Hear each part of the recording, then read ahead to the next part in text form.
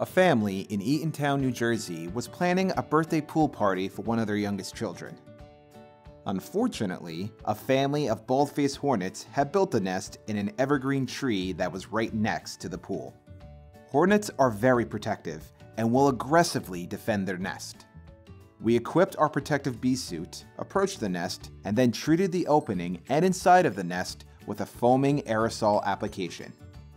This application quickly paralyzes the hornets, and after a few minutes, we properly remove the nest.